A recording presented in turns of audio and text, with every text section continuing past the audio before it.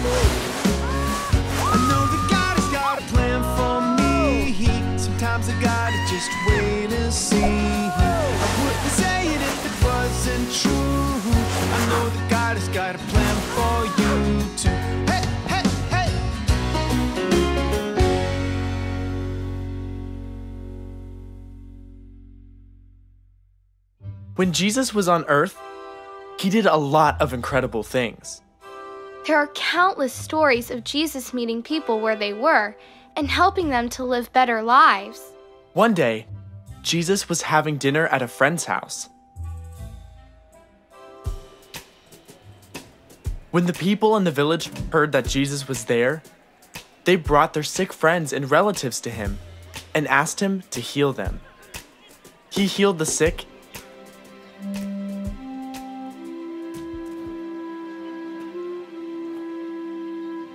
and the people were amazed. Very early the next morning, Jesus went off alone and found a quiet place so he could pray. This is only one of many times in the Bible when we read about Jesus going off to a quiet place to pray.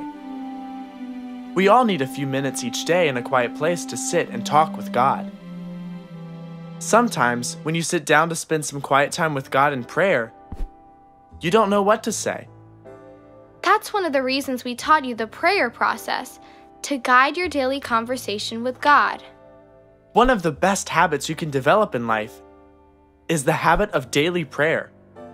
Give God 10 minutes every day, and He will do great things in your life. Where do you spend your 10 minutes, Ben?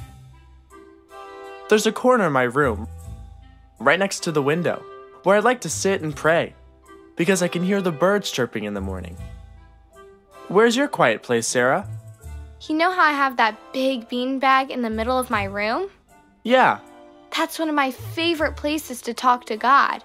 It's so comfortable and fuzzy. I always feel like it's God just giving me a big, pink, fuzzy hug. What about you, Hemingway?